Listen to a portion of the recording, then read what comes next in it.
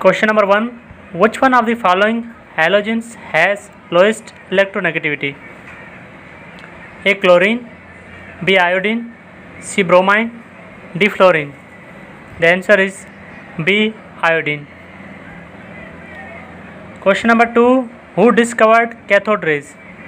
A. Goldstein B. John Dalton C. Sir William Crookes D. Neil Bohr The answer is C.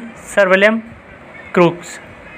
Question number 3. Which one of the following is a liquid in solid solution? A. Sugar in water. B. Butter. C. Alcohol in water. D. Fog. The answer is B. Butter. Question number 4. Industrial chemistry deals with the manufacturing of compounds. A. In laboratory. B on micro scale, C on commercial scale, D on economic scale. The answer is C on commercial scale. Question number 5 Number of elements in normal periods are A18, B10, C8, D32. The answer is C8. Number 6 How many electrons are involved in triple covalent bond? A6, B only 3, C4, D8. The answer is A6. Question number 7. In Charles law, K is equal to AT upon V, BTV, CV upon T, DV upon P. The answer is CV upon T. Question number 8. What is the formula of RUST? Rust.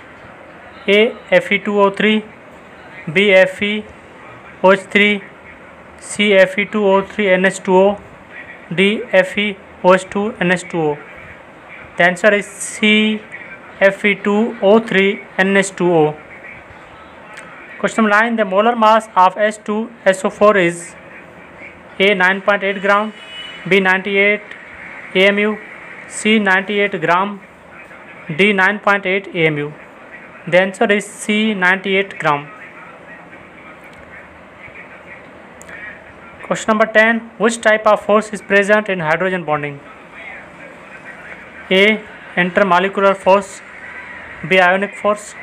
C. Covalent force. D. Metallic force. The answer is A. Intermolecular force.